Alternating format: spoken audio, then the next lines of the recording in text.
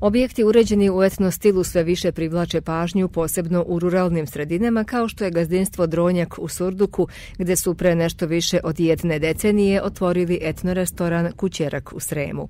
Svoje poljoprivredne proizvode, ali i meso i mesne prerađevine, teško su prodavali i zato je Gordana, koja je po profesiji kuvar, odlučila da ih ponudi gostima na tanjiru. Bilo je teško prodati debele svinje, prasiće, nismo mogli da plasiramo to, nismo mogli naše piliće da prodajemo, jaja i onda, pošto sam ja kuvar, ja sam eto došla do, do tog momenta da ovde renoviramo našu staru kuću, ne uložimo mnogo novca, da možemo da preživimo od toga i to se pokazalo kao pun pogod. Ekonomski moment je bio presudan na početku i našli su svoju računicu.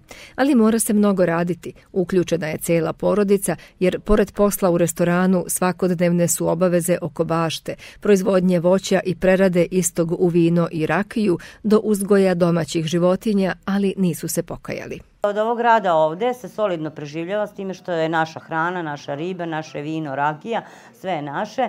A, ovaj, kad bi bilo malo više sreće da napravimo neke e, sobe za izdavanje u produžetku, onda bi bilo još bolje. Trenutno nismo u toj situaciji i radimo ovo što možemo, ali u svakom slučaju smo zadovoljni i preživljavamo dobro. Eto. I održavamo e, poljoprivredno gazdinstvo i ovaj restoran, eto, od toga. Za opremanje restorana vešto su korišćeni predmeti koji su već postojali u kući. Nude domaću i svežu hranu, a akcenat je na sremačkoj kuhinji i starinskim na izgled jednostavnim jelima. Pasulj ide najviše. Iskreno da vam kažem, pasulj, bećar sos ili sataraš, to je jedno od jela koje se najviše ovde jede. Supe idu dosta, riblja čorba i riba ide baš dosta.